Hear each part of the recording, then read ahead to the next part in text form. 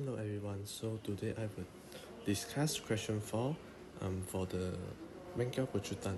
And from the question, we get the information angle from horizontal is 32 degree and we mark here as 32 degree. Then the initial velocity u equal to 15. So we write here u equal to 15. Then the third Information is point M from ground is 2.62 meter. So we write here sy equal to 2.62 meter. Then the next step is we resolve u and we get uy equal to u sine theta, ux equal to u cos theta. Then the next step is we use the equation sy equal to uyt minus 1 over 2 gt squared. And we substitute sy, uy and g. Then we get the quadratic equation. And we press the calculator and we get t1 equal to 0.46 which mean is the time for the first time above 2.62 meter and t2 equal to 1.16 so this is the second time above 2.62 meter. Then the point m is the second time to of reaching above the from ground 2.62 meters. So the time taken to reach point M is 1.16 answer is B. Okay that's all and thank you. Assalamualaikum warahmatullahi wabarakatuh. So untuk soalan ni dia, dia cakap the frequency of whistle by a moving train and the frequency heard by a stationary observer are 420 Hz and 460 Hz respectively. If the speed of sound in the air is 343 ms negative 1, calculate the speed of train.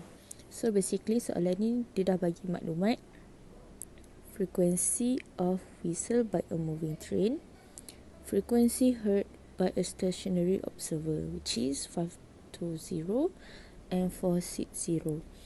And dia beri speed of sound air and the net speed of train.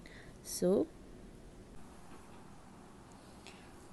So kalau kita tengok step pertama kita akan keluarkan maklumat dia iaitu 520 Fs kita 520 Hz FO kita 460 Hz V sound air kita 343 MS negatif 1 dan VS macam ni kita tahu Fs kita 520 sebab kita punya frequency of whistle adalah moving train. Moving train kita 520. Moving um apa benda yang keluarkan bunyi ni adalah source. Okay. So itu step pertama kita adalah keluarkan maklumat. Step kedua kita kita akan pakai formula nombor 58 dalam list of constant formula. Which is FO sama dengan F plus minus VO over V plus minus VS Fs okay so kita dah tahu 460 and 520 VO kita kosong and kita nak determine plus minus dia. So macam mana nak determine plus minus dia kita buat macam ni. Sebab kalau perasan dia punya ini dengan ini kan sama dengan kan. So bila kita macam roughly dia FO in directly proportional macam ni FO directly proportional to 1 over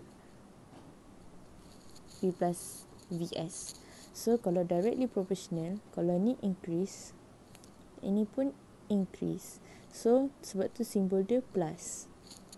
Okay. And then step ketiga lepas kita dah tahu dia plus kan. Kita masukkanlah dalam formula dia. Uh, nilai-nilai dia. Cheese 460, 520. V dia dah bagi tau. V dah bagi.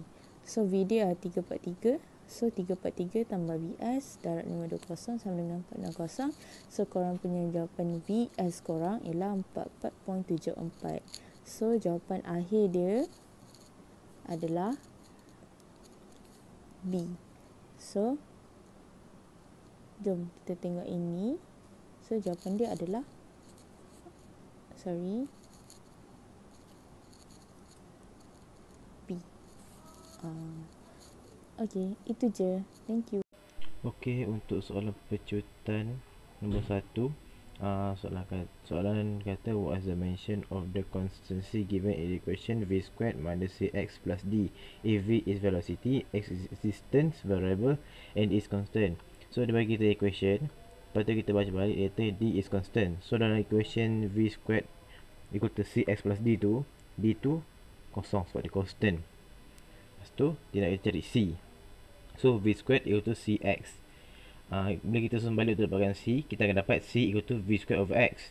At the same time V sama dengan MS So V ialah LT negatif uh, dimension dia LT negatif power negatif 1 So X dimension dia L.